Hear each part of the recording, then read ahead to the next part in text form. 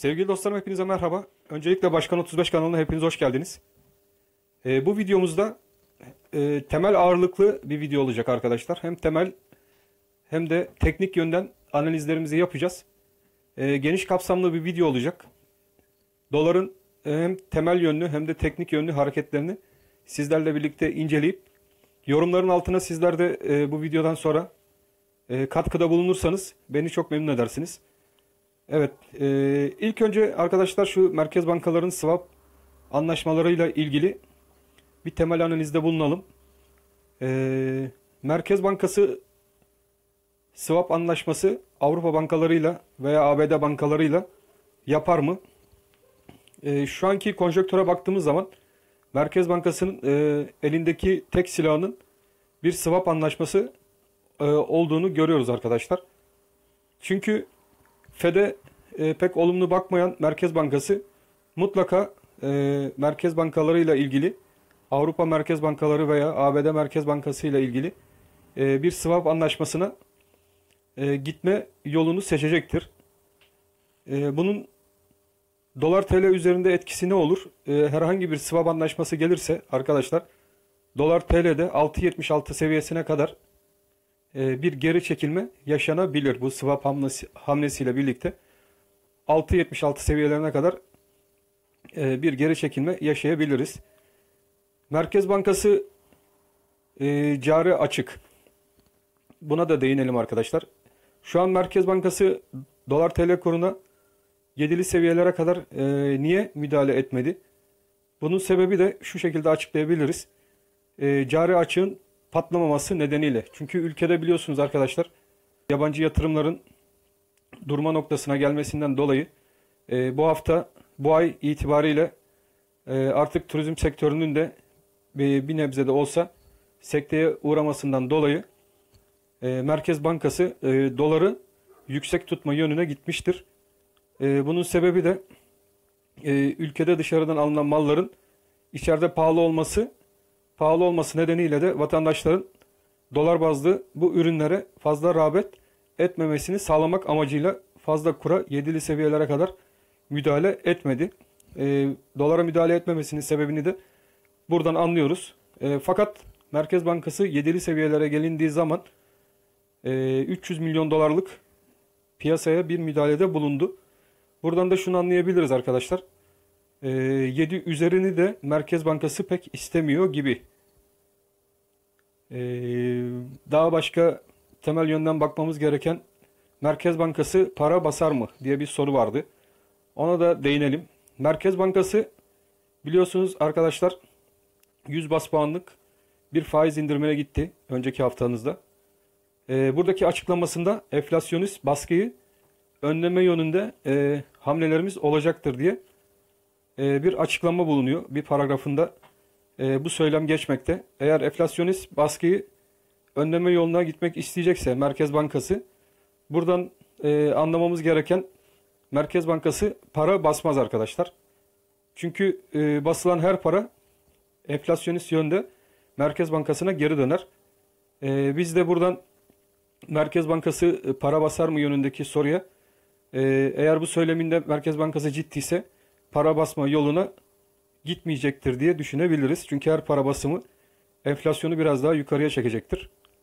Bir başka soruda da e, bankaların e, dövizleri Merkez Bankası'na e, vermesi yönündeydi. Verip TL'yi almasıyla yönündeydi. Evet arkadaşlar Merkez Bankası'nın böyle bir e, dev kampanyası var bankalara yönelik. E, dövizlerini Merkez Bankası'na getiren bankalara %30 e, vadeyle %30 seviyelerindeki vadeyle e, karşılığında TL veriyor Merkez Bankası. E, ve bunun neticesinde de e, bankalar kredi musluklarını açması isteniyor arkadaşlar. Kredi musluklarını e, piyasaya TL bazlı dağıtması isteniyor. Yani getir dövizi kap TL'yi. Ne kadar fazla döviz getirirsen e, bu %20'den %30'a çıkardı biliyorsunuz. Faizi Merkez Bankası burada. Bankalara yönelik.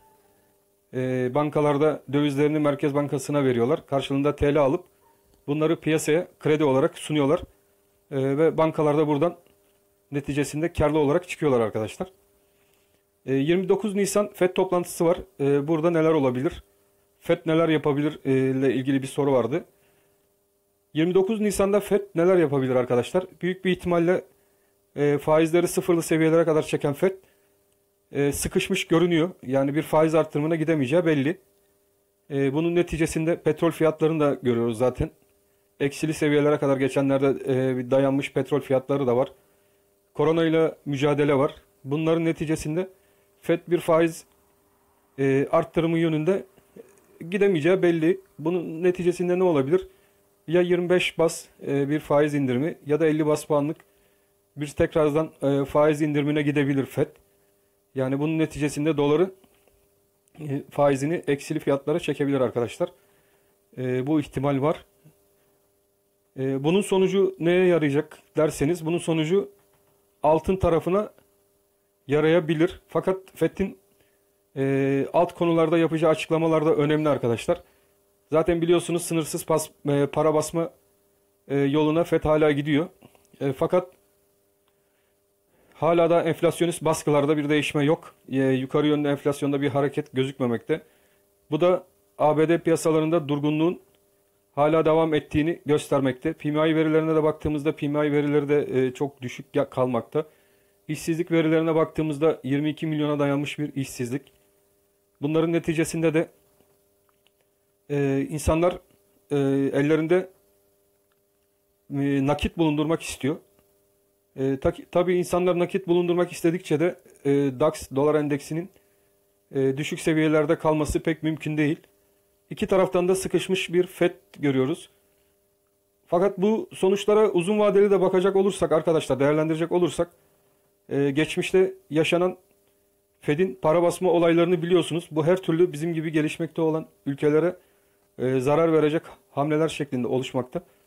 Bunun nedenini soracak olursanız e, geçmişte de Fed'in para basma olaylarından dolayı bu e, paraları ABD Fed Bankası tekrardan geri toplamak isteyecektir. Bunu e, nasıl yapacak arkadaşlar? Geçmişte gördüğümüz örnekleri şeklinde yapmak isteyebilir. Yani faiz arttırımları bu korona ile ilgili, ekonomi ile ilgili toparlanmalar başladığı zaman da e, bunları e, tekrardan e, faiz arttırımları şeklinde e, parayı fazla parayı enflasyonist baskı yapmaması için tekrardan ülkesine geri çekmek isteyecektir. E, bu da biliyorsunuz bizim gibi gelişmekte olan ülkeleri bayağı bir zora sokacak e, hareketlerde bulunacaktır uzun vadede. O yüzden şimdilik e, bu para olayı hoş gözükse de gelişmekte olan ülkelere yarasa da e, fazla da ülkemize ben sıcak para girişi olmasından yana değilim. Çünkü bu sıcak paranın tekrardan geri dönüşü ülkelerim ülkemize ve gelişmekte olan ülkelere çok ağır sonuçlar bırakarak olmakta. Her zaman olduğu gibi e, üretimimizi kendimiz yapıp kendi yağımızda kavrulmayı öğrenmemiz bizler için en güzel yol olacaktır diye düşünmekteyim. Ayrıca bu krizden e, yara almadan düzgün bir şekilde çıkmak için de arkadaşlar. Evet şimdi de dolar TL kurunu teknik olarak inceleyelim. Teknik olarak 6.97 seviyesinden bir haftalık kapanış dolar TL kurunda geldi. Ee, 6.94 üzerinde bir kapanış gelmesi dolar TL kurunda olumlu arkadaşlar. O yüzden 6.97 seviyesinden e, gelen kapanış dolar TL kurunda olumlu bir kapanış diyebiliriz. Fakat 7 seviyesinde biliyorsunuz arkadaşlar Merkez Bankası da bir band gibi dolar TL kurunda duruyor. Buralardan bir müdahale geldiği dolar TL kuruna açık e, olarak gözükmekte. E, burada stratejimiz ne olabilir? Aa, bu 7 seviyesi yıkılmadıkça dolar TL'de buralardan e, satış yönlü değerlendirilebilir. Yatırım tavsiyesi olmamak koşuluyla artık bu seviyelerden e, satış yönlü değerlendirmeler yapılabilir. E, dolar TL'de geri çekilmelerde 6.94 aşağı yönlü e, kırılırsa arkadaşlar 6.82 seviyesine kadar dolar TL kurunda gevşemeler e, takibimizde olması gereken önemli seviyeler olarak gözükmekte. E, dediğim gibi 6.94 üzerinde bu hafta e, tekrardan tutunmaya devam edebilirse yedili seviyeleri yukarı yönlü de zorlayabilir. Yukarıda en yakın direnç e, dolar TL kurunda 7.06 e, 7.15 seviyelerinde gözükmekte. e, bu seviyelerde 7 üstünde takipte kalmamız gereken önemli seviyeler gibi gözükmekte. Fakat 7'deki bendi unutmayıp aşağıda 6.94 ve 6.82 seviyelerine kadar e, bir sarkmalar da yaşanabileceği aklımızın ucunda bulunsun arkadaşlar. 7 seviyesi kırılmadıkça 6.94 ve 6.82 seviyelerine doğru dolar tl kurunda sarkmalar da yaşayabiliriz. Ee, uzun yönden dolar TL'ye baktığımız zaman arkadaşlar e, 7 seviyesi üzerinde dolar TL'nin yukarıya atması durumunda şuradaki 7 seviyesi yukarı yönünde geçirebilirse arkadaşlar yukarıda bir 7.23 biliyorsunuz bizim bir hedefimiz vardı. 7.23 seviyesine kadar e, dolarda yukarı yönlü ani ataklar yaşanabilir 7 üzerinde. E, fakat bu 7.23 seviyesi yukarı yönlü kırılırsa arkadaşlar o zaman işte dolar TL'de işler değişir ve dolar TL'de bir kabus senaryosu yaşlanır. Ee, daha önceki videomda da anlattığım bir bayrak formasyonu vardı. Arkadaşlar şurada gördüğünüz bir bayrak formasyonu. Ee, bu 7.23 üzerinde dolar TL harekete başlar 7.23'ü kendine bir destek seviyesi haline getirirse bu bayrak boyu kadar yukarıya eklediğimiz zaman yukarıda 8.50 ilk etapta dolar TL'nin hedefine girer. 8.50'de yukarı doğru aşılması halinde 9.50 seviyelere doğru e, çok e, farklı e, hızlı ani ataklar yaşanabilir dolar TL kurunda. O yüzden Merkez Bankası'nın da bu 7 seviyesi üzerine pek izin vermeyeceğini düşünmekteyim. Özellikle bu zamanda e, bu swap hamlesini iyi değerlendirmeye çalışacaktır diye e, Merkez Bankası'nın düşünüyorum arkadaşlar. Dediğim gibi 7.23 seviyesine kadar dolar TL'de de 7 üzeri seviyesine kadar yukarı yönlü olabilecek bir ataklarda 7.23'lü seviyelerden tekrar dolar TL kurunda kuvvetli satışlar gelebilir.